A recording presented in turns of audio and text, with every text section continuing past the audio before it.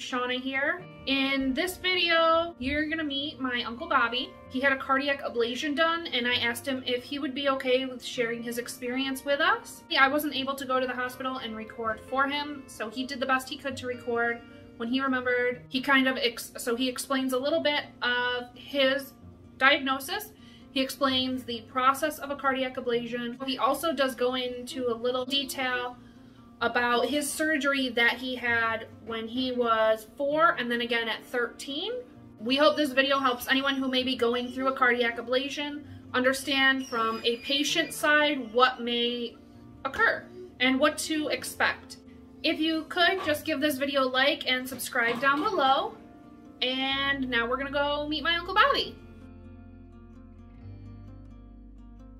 Uh, my name's Bob. Uh, my niece Shauna asked me to contribute here when it's uh, usually is on here with the kids. I am having a cardiac ablation for the second time. Here at the hospital having fun. A couple IVs in, actually one in. The other one didn't work so well, but uh, they'll take care of that when I'm out apparently. So the cardiac ablation, they're trying to get my heart back into rhythm. I have atrial flutter, similar to AFib, but on the other side of the heart. They go up and with a catheter and cauterize different points in the heart to try and stop the uh, irregular heartbeat and get it back into rhythm. Kind of like misfiring, I guess I would say. Last time they did 44 different spots. Started in one area in the heart, all in the same upper right chamber, and then found a different spot where they had to work on and they got it done. So it's back. That was not this September, but the previous September and uh, we're going back in to try and do it again. Just waiting, have had my EKG and all that fun stuff. If you can see it in the thing, the 96, that's my heart rate. Last time it was in the hundreds. Very erratic. So we'll see how it all rolls. Hello again. This is after my procedure. Took about two and a half hours. Doctor says that he was happy with it and that it was successful and you notice I'm on my side. I am laying down. I have to lay down for about two, two and a half hours, something like that, afterwards because it went in through the groin. Basically, about 5:30 tonight, I'll be able to sit up and hopefully uh, be about the time for dinner. biggest trouble I had was uh, the IVs.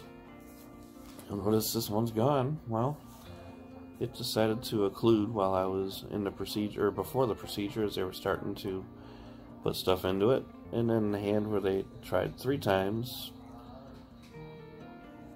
they got one in right on the knuckle. Pretty sweet. Yeah, loved it. It worked. And it did the rest through the catheter that they went up into the heart with. I'm actually waiting to hear talk to the doctor because he's in another procedure my understanding is he started in the right atrium where we needed to, fixed some there, realized, well, maybe we need to go to the left atrium, went through the wall, and I actually have a diaphragm patch from a previous open heart surgery, my second one, and went over there, did some, and then ended up right back where they ended up last time, from what my father was telling me, because he actually talked to him on the phone. My heart rate the last time I looked was right around 70. My blood pressure's been coming up, which is good, and uh, that's all. So the next part I didn't think about was um, this time they didn't put me as far under as they did the previous time. Didn't completely knock me out last time. They were a little worried about how I reacted with how difficult it was to get the uh, tube in my throat. When they knock you out completely, they have to do that. So this time they kept me a little more under than you would have for like colonoscopy, but a little less under than it was, you know, the previous time. And that completely knocked out. I did wake up during the procedure.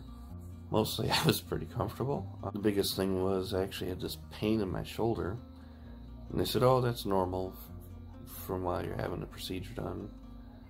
And uh, just kept plugging away pretty much it. It was a little freaky waking up during it, but, uh, you know, I was able to stay calm, but you ask my niece, I'm pretty calm. I remember last time I had some groin pain from it. I'm not feeling that this time. Also, last time they had put one in the uh, inside of the elbow. They didn't do that this time. And they blew the vein out. I actually couldn't move my arm, and being my only good arm, that was an issue where my uh, father actually had to feed me. Think that's it for now. Hello again. So I um, got to talk to the PA. Doctor was unable to come up, but he explained. She explained a little more. Doctor went in the right upper atrium in my heart, where he started last time, because that's where flutter usually is. Fib is usually on the left. Flutter's on the right most of the time. Went in there, worked on a few things, similar areas to what we did last time. Then he decided to go over to the left side of the heart, which they go through the wall of the heart into the left upper chamber. And in there, looked around, found there was no other scar tissue, didn't find any irregular rhythm in there. On the left side, went back to the right side. They uh, just went through, basically went around similar areas they did last time, and uh, straightened out the irregular heartbeat rhythm, and felt pretty confident that it should be done. Fingers are crossed. Hopefully, that's the last one I have to do. just because I kind of mentioned the diaphragm patch that I have. Um, when I was four, I had open heart surgery done. If they hadn't done it then, it was about the hole in the upper two chambers, the uh, upper two atria, was about the size of a half dollar.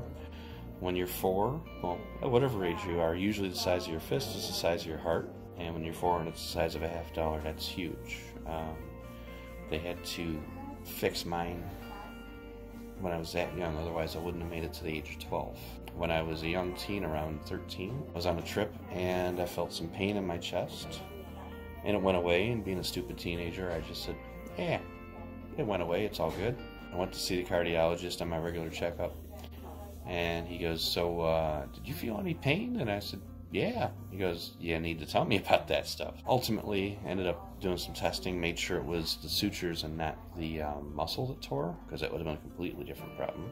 Went in had uh, open heart surgery for that when I was around 14. They did a diaphragm patch because in the time of opening me up, it actually cut into my heart because my heart was so swollen.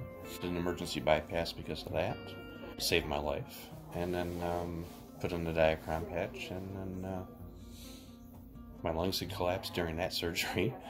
Um, so that was kind of a long road that time, and uh, we just continue to keep pushing forwards.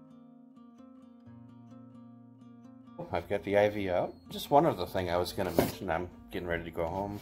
So after the procedure, they had me lay flat for about two and a half hours so that the groin wouldn't start bleeding where they put the uh, the site where they went in to do the stuff about 5.30 last night, I was able to sit up and pretty much do whatever, you know, no running around or dancing. It was about 6.45. I decided I could uh, try and go to the bathroom, walked into the restroom. My dad was still here. While I was in there, I started bleeding. The nurses came in, had to put pressure on it. it stopped bleeding, put a new bandage on it. Um, got it handled pretty well. They had to hold pressure there for a good 15 minutes. And then they had me laying down again for another an hour and a half before I could uh, sit up again. And then uh, had a sandbag on it, uh, which is pretty heavy. They always worry that it's uncomfortable, but it didn't bother me.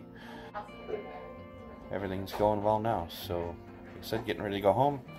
In my regular street clothes and uh, ready to roll when my ride gets here. Thank you for listening. I hope this helps anyone.